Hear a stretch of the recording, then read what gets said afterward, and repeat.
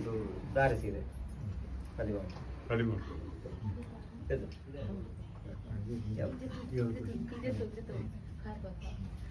കല്യാണം എന്ന് കേട്ട് കഴിഞ്ഞാൽ എല്ലാവർക്കും ഭയങ്കര സന്തോഷമാണല്ലോ എന്താണ് നമ്മുടെ പ്രിയപ്പെട്ടവരെ വീണ്ടും കാണാനുള്ള ഒരു അവസരമാണ് പിന്നെ നല്ല ഫുഡ് കഴിക്കുക അങ്ങനെ അങ്ങനെ അങ്ങനെ പോകുക ആ ഒരു സന്തോഷം എന്ന് പറയുന്നത് എന്നാൽ ഇത് തന്നെ മരിച്ചവർ തമ്മിലുള്ള കല്യാണമാണെങ്കിലോ ഒരു പേടി ഉണ്ടാകുമല്ലേ? ഇത് വേറൊന്നുമല്ല തെക്കൻ കർണാടകയിലുള്ള ഒരു ആചാരമാണ്. ഇപ്പോഴും അത്ര ക്ലിയർ ആയിട്ടില്ലായിരിക്കും എന്താണ് സംഭവം എന്നുള്ളത്.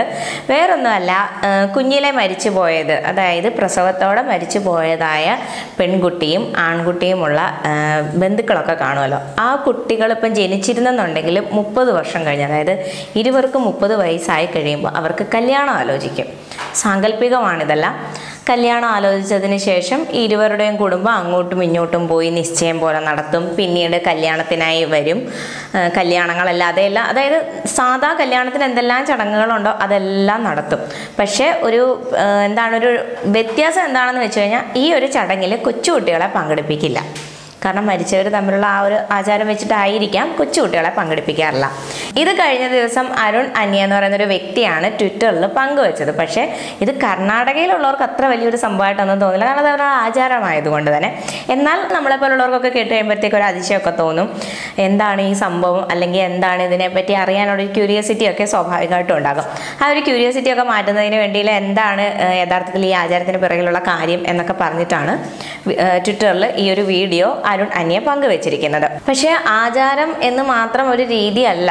ഇവർക്കെന്ന് പറഞ്ഞിട്ട് കാരണം രസകരമായ ഒരു സംഭവം പങ്കുവെക്കുന്നതെന്ന് വെച്ചാൽ കഴിഞ്ഞ ജൂലൈ ഇരുപത്തിരണ്ടിനായിരുന്നു ഈ ഒരു കല്യാണത്തിന് അരുൺ അനിയെ പങ്കെടുത്തതും തുടർന്ന് ഈ വീഡിയോ ഇപ്പം നമ്മളായിട്ടൊക്കെ പങ്കുവെച്ചിരിക്കുന്ന വീഡിയോ ഒക്കെ എടുത്തിരിക്കുന്നത് ഈ ജൂലൈ ഇരുപത്തെട്ടിനാണ്. എന്നാൽ പലപ്പോഴും ഈ കല്യാണം ആലോചിക്കുമ്പോൾ നമ്മളുടെയൊക്കെ നോർമലി കല്യാണം ആലോചിക്കുന്നത് പോലെ തന്നെ ഏജ് വ്യത്യാസങ്ങളുടെയൊക്കെ പേരിൽ തന്നെ വിവാഹാലോചനകൾ തെറ്റിപ്പോയ അവസരം വരെ ഉണ്ടായിട്ടുണ്ടെന്നാണ് അരുൺ പറയുന്നത്. നമുക്ക് ഏതായാലും അരുൺ പങ്കുവെച്ച വീഡിയോസ് ഒക്കെ ഒന്ന് കണ്ടു നോക്കാം.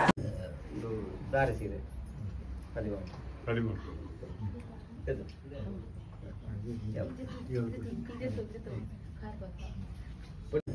ಒಂದು ದಾರ ಸೀರೆ ಕಲಿಮಾಂಶ ಇದು